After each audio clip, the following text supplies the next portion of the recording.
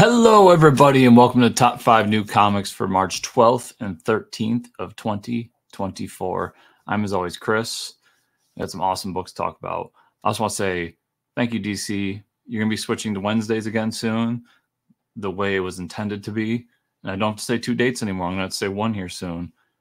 So we're looking forward to that. Enough of my complaining about that. Let's get on some comics, starting with Avengers Twilight number four. This is written by Chip Zdarsky with art by Daniel Acuna. I, I, mean, we've been going on and on and on about Avengers Twilight, how much I enjoy this book. It's been great. And it's doing that thing that a great series like this does, where we introduce an element in the issue. We have a great cliffhanger that goes back to the last issue and then we do it again and again and again. And I don't think it's a huge spoiler to say that Thor is in this issue. It's right there on the cover. His intro in the last issue was so epic. It gave me chills, not just reading it, but then talking about it on the podcast, Fortress Comic News.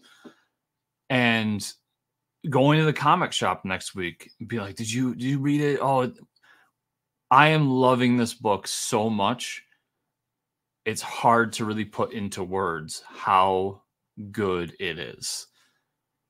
So yes, it's on my list every every week it's available. But there's a reason for that. And that reason is it's really freaking good. After that, I've got Ultimate Black Panther number 2. This is written by Bryan Hill with art by Stefano Caselli man, the Ultimate Universe is just killing it. Absolutely killing it. I'm really loving what they're building here with three very unique and distinct books, but all of great quality. I thought the first issue of this was a great introduction into Black Panther, who he is in this universe, where he stands, while at the same time being so familiar, especially to people who may only be fans of the MCU and we're looking to get into comics, uh, as few as they may be, hopefully there's more, but this was the closest to an MCU Black Panther I've seen in a while. To be fair, I don't read every Black Panther book, so I could be off on that. And then to introduce these cool new villains that are versions of Moon Knight, basically, and uh, that they work for Ra and Khonshu and obviously the maker having some sort of control over what's going on, even if he's not directly there. There's so much good here to enjoy. And Ultimate Black Panther, it may be, it's probably my number two. I still think I really love Spider Man the most. And I even really like the first issue of the X Men book that they did. It's, listen, we're only a couple issues in you can find these issues. I know in the secondary market, some of the issue ones have gone up in price, but I've seen at my comic shop and other local comic shops, I'm still on the shelves at base price. Go and check them out.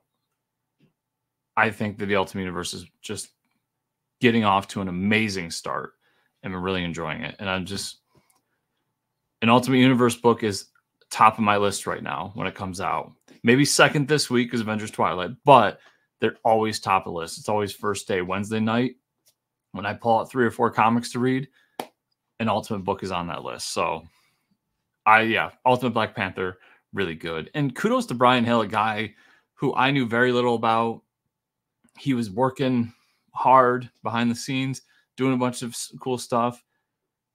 Jumped on that Blade book and I'm just such a Blade fan that I was like, yeah, I'm gonna buy a Blade book, and I loved it. And now he's on this, he's doing good. I gotta go back and give Bryan Hill his props because I he's got to have some books in the past that I like because I've just been enjoying the two books right in a row that he's done for Marvel that are in my purview are two top tens in my eyes. Like they're just the dude's obviously got talent. I need to look more into his career. After that, I've got The Outsiders, number five. This is written by Jackson Lanzing and Collin Kelly, aka the Hive Mind, with art by Robert Carey. I I remember when we had the Hive Mind on the podcast, Fortress Comic News, and talked about doing this Outsiders book, and I was like, "This is the test." They've always done properties that I really adore. They were doing Batman Beyond, they're doing Guardians of the Galaxy, they're doing Captain America. They've always been on properties I absolutely love. And now they're on one that honestly I could I could care less about. I, I'm not a big Outsiders fan. I never really was.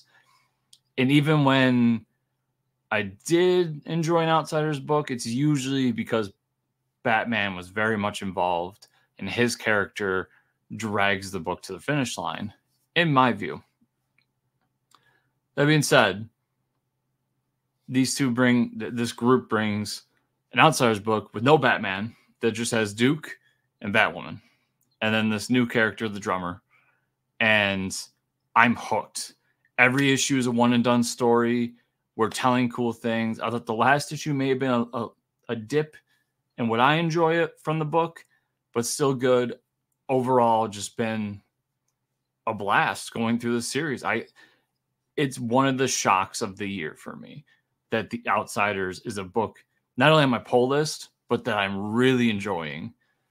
And that's a credit to Lanzing and Kelly, like just being amazing writers, creating amazing stories, and and doing all these things. And then the art artists throughout the book have been really great too. They've it, the art's been top notch, and that also helps pull the story forward, as we are a visual medium here.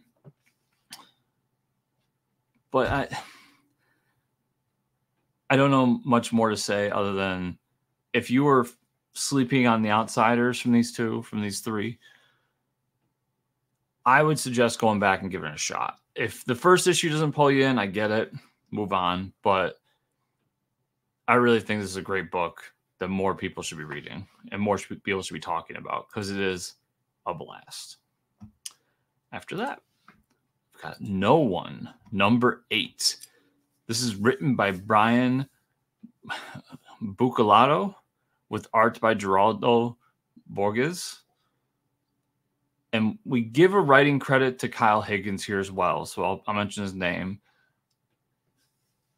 I've read into it. I think Kyle's more involved in the podcast, which we'll talk about, but I could be wrong here. So no one's this vigilante crime book there's the serial killer on the loose. Uh, there was this uh, vigilante called No One that ended up finding out who it was, and now we're kind of after the fact, and we're not sure if. The, so the murders have started again, and we're not sure if it's the same person doing it again, or if it's a newcomer just copycatting everything. And the reason we don't know that is because somebody admitted to the crimes and it was in jail. Now, obviously, we're eight issues in, so there's a lot of story that's happened since then. But what I really love about this book is it's it's very family oriented in that everyone in the main cast involved is all family, which is why I have a theory that no one is also part of that family. Maybe one of the sons in this story that is dead, even though we never see a body, which my rule in comics if I don't see a body, they're not dead. And it's just it's this great spin around going back and forth trying to figure out who did it going to uh, the cop whose son's in jail to the local newspaper trying to figure things out and then how how politics gets involved in all this and it's this great world that these two have created to make this great story. And then one of the things that's been really unique, awesome, and fun about it is they do a podcast that comes out the same day that has like Patton Oswalt and a few others voice acting playing as characters from the comic. And those characters are the reporters for the newspaper doing a podcast for the newspaper. So you're listening to something that's sincerely done as a crime podcast, but it is audio drama based in the universe of the book. And it adds another layer because you, you read the book, and then I usually the next day at work am listening to the podcast as I'm doing it, and you get enthralled in the world and the story and what's going on. And some of the drama too. Like they've added these moments that are very dramatic that can only be done through through podcasts or or just a TV show or something like that. And no other book that I can think of has or is doing what they're doing here. So they really are creating this multimedia approach to a comic book. I'll be fascinated to see down the line if maybe I could talk to one of these two gentlemen and how not just the financials, but how the intermingling is working out and if they're seeing do the sales match the podcast or more people listen to the podcast than reading the book or vice versa because it is just something that nobody else is doing. It's it's awesome. I i think this book's really great. Uh understanding it's eight issues in so it might be tough to catch up on but if you have a shot i, I gotta assume there's a trade of at least the first six five or six issues in it. Um is a really good book. And if if it matters to you, uh, I am very much invested in the Massive Verse. This is a Massive Verse title, so I will be also interested to see how they tie that into like Radiant Black and Rogue Sons and all these other great books they got going on. And eh, yeah, it's just been a phenomenal title that once again, much like The Outsiders and my next book, I wish got more attention because it is a truly great title that I am thoroughly enjoying. So after that, I've got The Weatherman Volume 3, Number 3. This is written by Jody LeHeup with art by Nathan Fox. This is another mainstay for the series. The Weatherman, I'll just put it here, probably my favorite at least sci-fi comic right now, and that includes Saga. Everybody, and I would even be willing to go as high as saying probably the best sci-fi comic going right now. Um, Weatherman is just a, a great, great book. It's so, it's so fantastical and witty, and at the same time grounded and it manages to to weave these different story arcs through the different volumes that all follow one guy and a scenario that he's found himself in that's so excuse me for saying this but it's so out of this world. Like i i can't talk up weatherman enough. It's if you've never read weatherman please please do yourself a favor and pick up the first couple volumes. It's just so so good. And I honestly I checked it out when it first came out because I was going through honestly when it first came out I was going through a phase where I checked out a lot of things and I was more open to checking things out and I mean that in a financial manner because of where I was in life.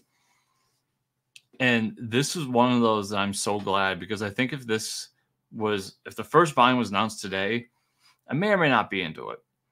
And I might have missed out on one of my favorite comics of all time, hands down.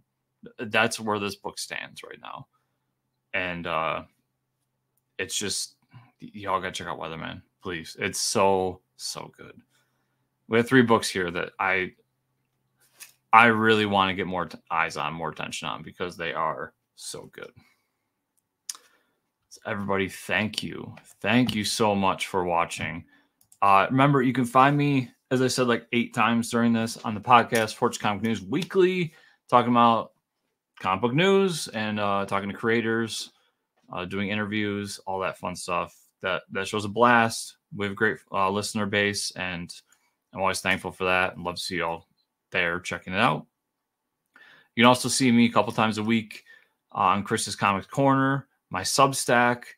Uh, currently doing the retro reread series where we're reading through all of Rom the Space Knight and my crowdfunding spotlight, where you can see cool crowdfunding books that are on mostly Kickstarter, to be honest, but I've done a Zoop title and I'm always looking at the different crowdfunding platforms to see what the best book is, or at least the one I'm most interested in, in that moment, and spotlighting it, bringing it out there to everybody. So if you're interested in truly independent comics, it's a great place to go and check out what's cool. And uh, and we do some reviews as well. We talk about some some comics I get a little bit early and we review, and I have a blast doing those. So I appreciate it. And if you want to support this series, this channel, like, subscribe, share, comment down below. Sub- make sure when you subscribe, you hit that bell notification button. So whenever a new video goes up, you get it. And uh, that is everything I have for you this week. See y'all here next week.